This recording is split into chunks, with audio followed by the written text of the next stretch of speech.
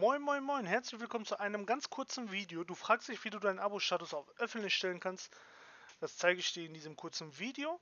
Und zwar gehst du auf youtube.com, dann gehst du rechts oben auf dein äh, Profilbild und dann auf Einstellungen und äh, hier auf der linken Seite Datenschutz und hier den Regler einmal nach äh, links, so dass es grau ist, äh, alle gespeicherten Playlists, nee, das nicht, äh, aber hier, alle meine Abos als privat markieren, einmal auf grau machen, also nach links, nicht nach, nach nicht nach rechts, sondern äh, nach links, so dass es grau ist und nicht blau. Bei grau ist sein Status auf äh, öffentlich gestellt. Viel Spaß damit und danke fürs Einschalten. Bis dann, ciao!